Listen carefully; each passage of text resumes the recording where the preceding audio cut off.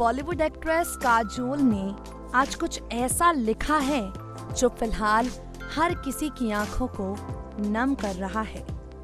बता दें आपको काजोल का एक ट्वीट सोशल मीडिया पर वायरल हो रहा है।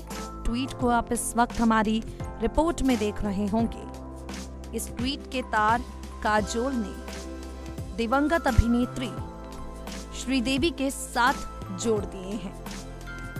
श्रीदेवी, जिन्हें बॉलीवुड की पहली फीमेल सुपरस्टार कहा जाता है।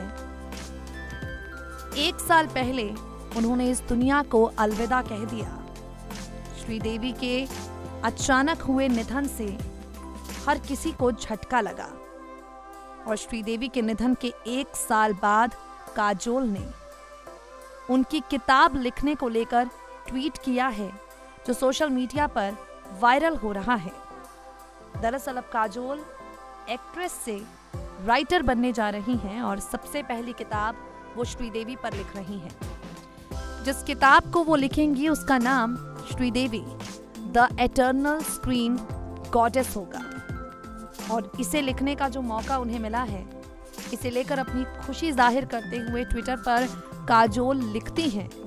आइकॉनिक श्रीदेवी पर आ रही किताब का फॉरवर्ड लिखने का मौका मिलने की मुझे बेहद खुशी है। मैं सम्मानित महसूस कर रही हूँ। भारत की पहली फीमेल सुपरस्टार को ट्रिब्यूट देने का यह मेरा अपना तरीका है। काजोल ने अपनी खुशी का इजहार किया। बता दें आपको, एक साल पहले जब श्रीदेवी का निधन हुआ, हर किसी ने ऐसे दर्द को महसूस किया जैसे अपने परिवार का कोई सदस्य खो दिया हो। और इस ट्वीट के ज़रिए काजोल ने उसी सदस्य को खोने के दर्द को एक बार फिर से ज़ाहिर किया है। नेक्स्ट नाइन न्यूज़ से मेघा की रिपोर्ट